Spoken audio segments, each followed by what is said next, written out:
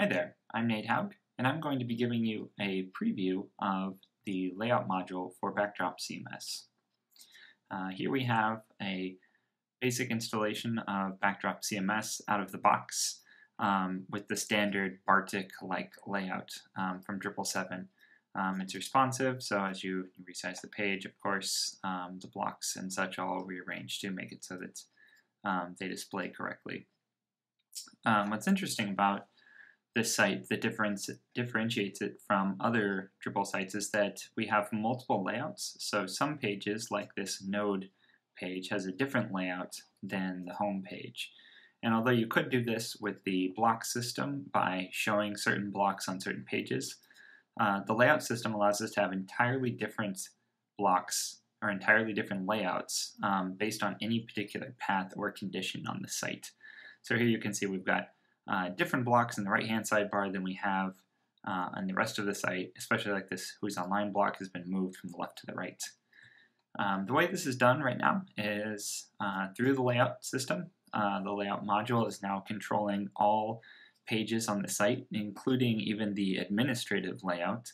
So the administrative layout is using a single column uh, configuration as opposed to the rest of the site, which is using this default layout, which as you can see is using the 334 stacked, which is the kind of legacy layout from Bartik. So here's how this page is constructed. You can see all of the different regions. Uh, if I wanted to manipulate the default layout, I could easily do that by just dragging something from one column to the other. Um, and then saving that and now that has affected all pages on the site um, that do not have a very specific layout that overrides that particular path. So let's take a look at the list of layouts again, uh, and you can see here that we have these default layouts uh, that are for the front end uh, and for the back end. But then we also have um, a set of layouts right now, actually just one uh, for a particular path, and this is currently for the node slash percent path. So this may come out of the box if you upgrade your site from Drupal 7. It will automatically generate this layout for you because you will likely need it. Um, but on many sites out of the box, you may need to actually add this layout itself, which we'll go over in a second. So this is that node layout that we just saw. Uh, and if I wanted to, I could do things like I could configure this uh, who's online block. And under conditions, I could make this block shown only on certain node types, for example. And what this is doing right now is that uh, it's automatically figuring out the contexts that we have available. Um, and I can say that, uh, you know, for this particular path, we have a node context available, so this condition is available. But if I were to look at the default layout and look at one of these blocks, um, you can see that if I tried to add this condition, the same condition from the other one, um, there's no node context available here because there's no node from the URL. So therefore, we cannot select that node context. Uh, right now, this functionality uh, really only applies to conditions, but we have it within our ability and already uh, are using it in, in a few places, but none that's very barely visible um, where we could make it so that certain blocks are only available based on certain contexts, which of course would make it so that we could do things like position individual fields from a node into different locations on the page. So right now we have this single layout uh, for node slash percent, which basically affects all nodes on this on the entire site. But a lot of times you'd want to have multiple node types and have each node type have an entirely different page layout. So if we wanted to create a new layout that was specifically for articles, then we could make a new layout, um, choose which layout we actually wanted, and then we specify node slash percent again, um, just like the existing path, and you can see that it automatically figures out um, the contexts that are available based on the path that was typed in. So you can see that it's going to provide a node context for us. Uh, down here in, under conditions, we can simply say we want to add that node type condition again and say this is for articles and then create the layout. And so what this does, uh, it drops you into the the main configuration for uh, this layout itself. And this syndicate block isn't a good example, but let's add um, something like the search form, sure, um, to the right-hand sidebar. And this is specifically for articles.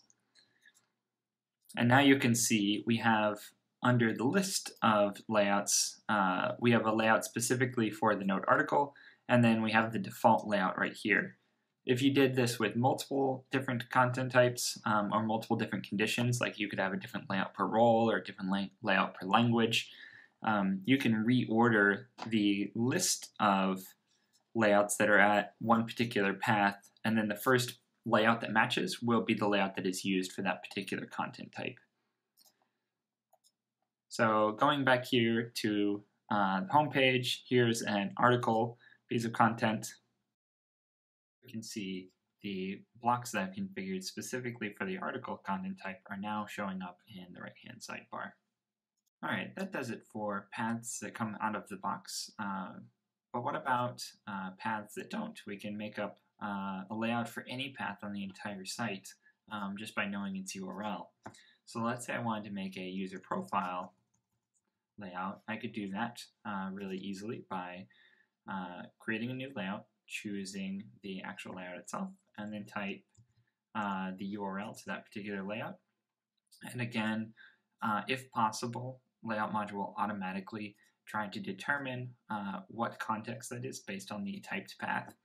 If you were doing a more complicated path, like uh, let's say you were looking at a node that was created by a particular author, you could add multiple wildcards uh, or paths. And then uh, if that path is unknown by layout module, then you can choose or tell layout module what that additional argument is, and it will automatically provide additional contexts for you when you're actually laying out uh, that particular path. So for now, I'm just going to leave this as user slash percent to override the normal user profile page. We don't need any conditions on the layout itself and all of the blocks are copied from the default layout into this new layout and I can do things like add a, a particular block for this uh, for this particular user. So I could do something like add um, the user menu, for example. And then under conditions, um, as usual, I can do things like I can um, select a particular thing based on the user um, you'll see here that when I add this, um, there are multiple user contexts available. Generally, the user context is always going to be available in all layouts because you can always do a condition based on the current user. But in this case, because I have two user contexts available, uh, the current user who is looking at the page, and then also the user from the path, which is like going to be the, the user's profile who's who we're looking at um, then I can choose which user it is that I actually want um, to see this particular block. And there you go, and now we've got a couple of blocks over here in the right-hand sidebar. And now at the list of layouts, you can see we've made a new layout um, for user slash percent.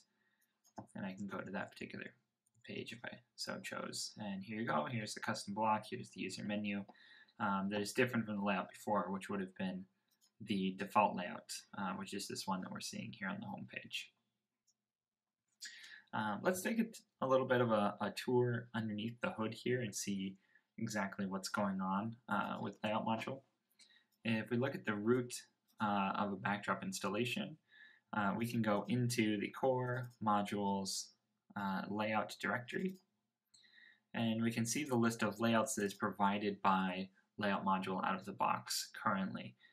Uh, ultimately, these layouts likely will be moved to their own top level uh, types of, of uh, data, basically like uh, similar to how a theme or a module is a top level item in Backdrop, we're going to make it so that layouts also become uh, a top level item with their own .info file um, so that people can easily create those um, without really needing to dive into to building a custom module. If we look at the template uh, for a layout here, you can see that uh, this looks very similar to the page template that you would see on a Drupal 7 site.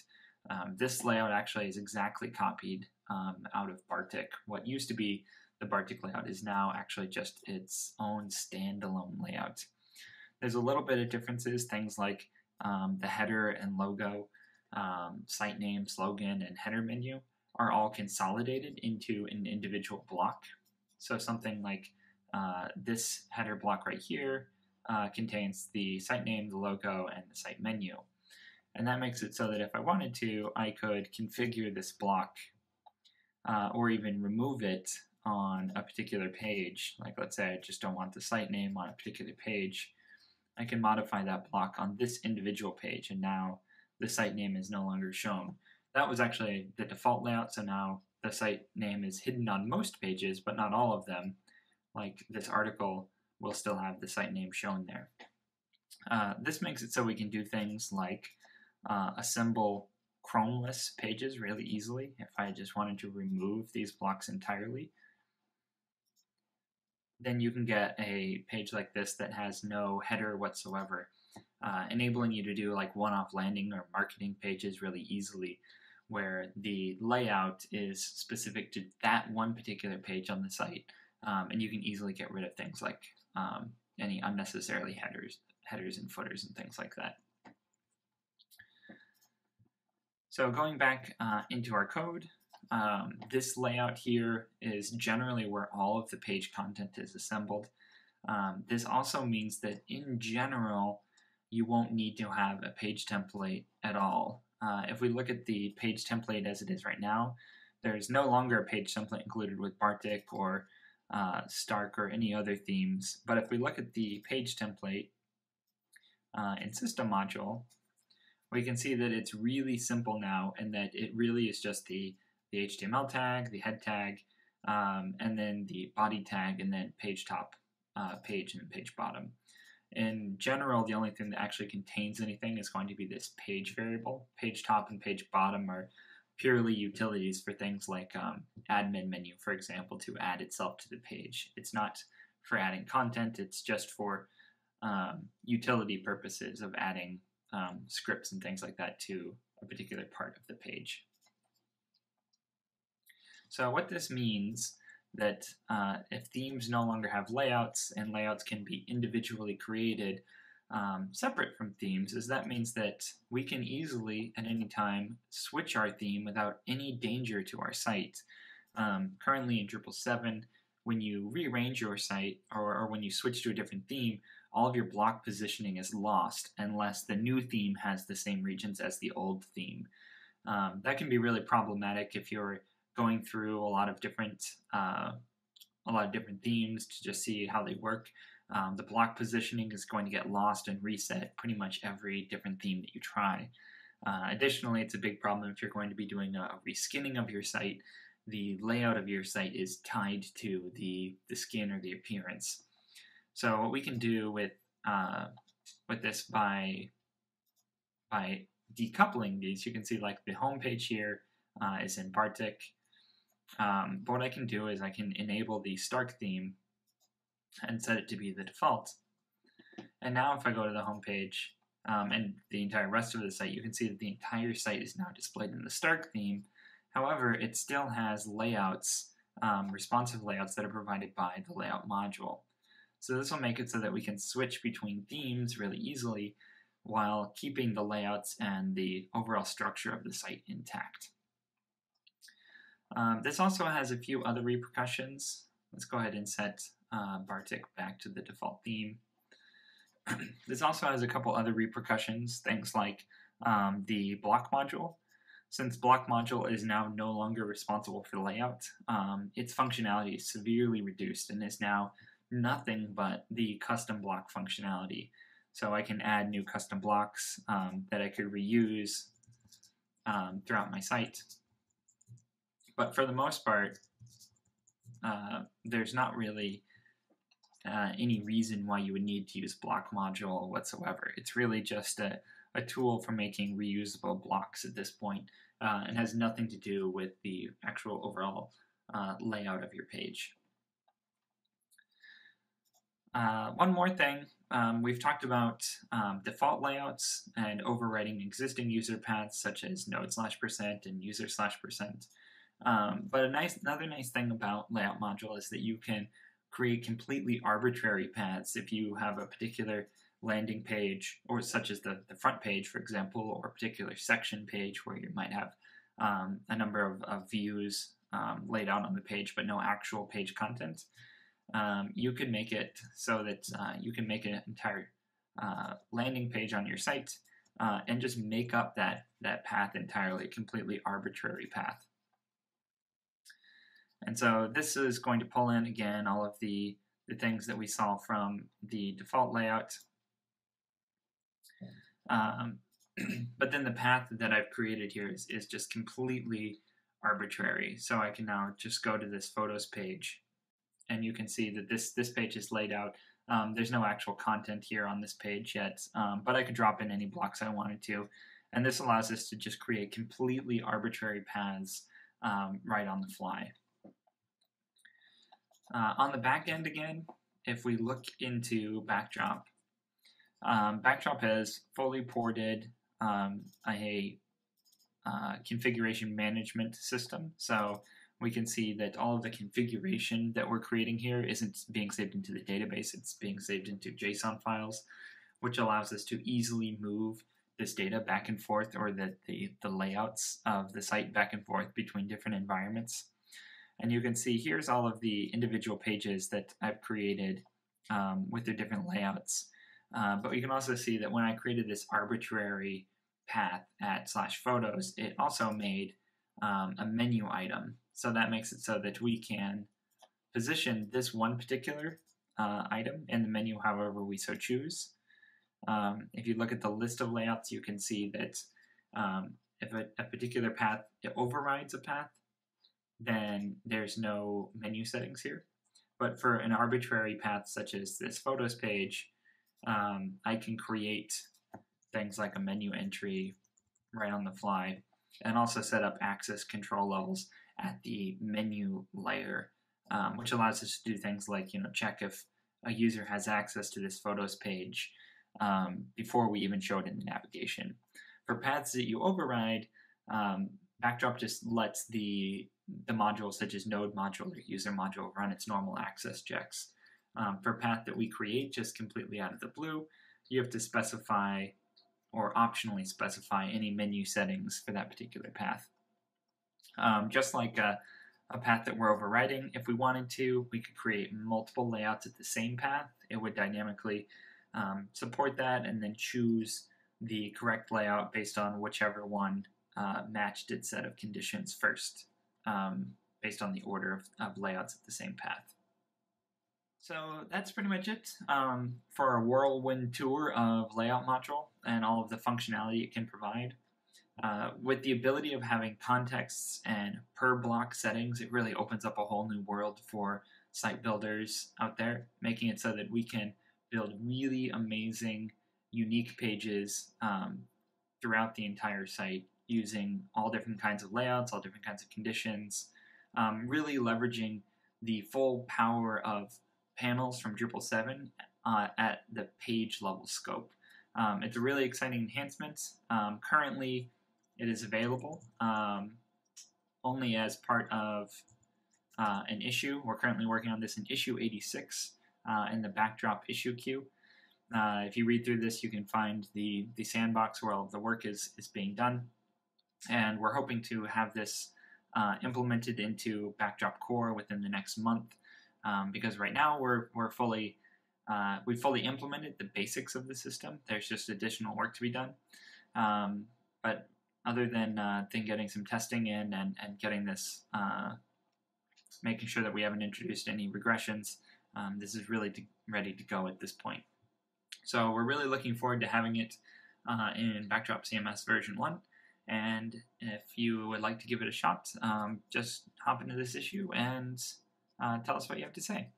Thanks for watching.